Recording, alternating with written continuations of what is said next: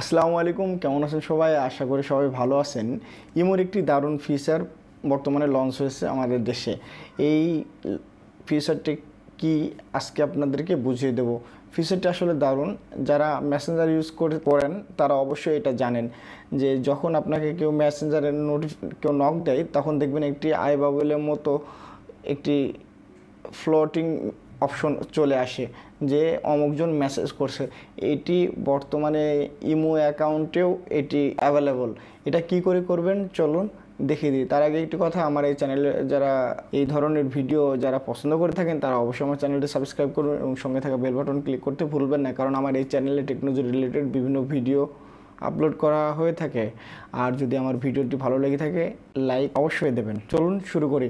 এই জন্য আপনারা আপনাদের ইমো অ্যাকাউন্টটি ওপেন করবেন। ইমো অ্যাকাউন্ট ওপেন করার পরে দেখেন নিচের দিকে একটি প্লাস চিহ্ন আছে, এই প্লাস চিহ্নর উপরে ক্লিক দেবেন। দেওয়ার পর এখানে মোর অপশন আছে। মোর অপশনে ক্লিক করলে এখানে দেখেন আই বাবল বলে একটা অপশন আছে। আই বাবল মানে কোনো মেসেজ পাঠায়, তার ছবি সহ সামনে অটোমেটিকলি শো করবে। কারণ আপনার অ্যাপসটা ওপেন করাই লাগবে না, মেসেঞ্জারের মতো।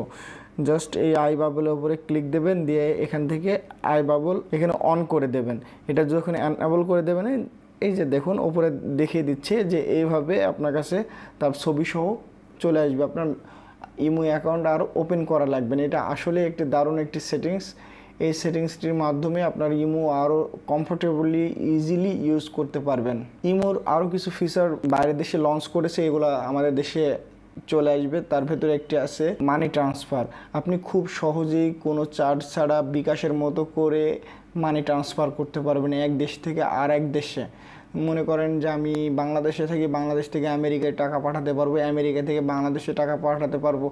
এখানে কোনো ধরনের ঝুঁকি ঝামেলা নাই। খুব ইজিলি একদম বিকাশের মতো করে।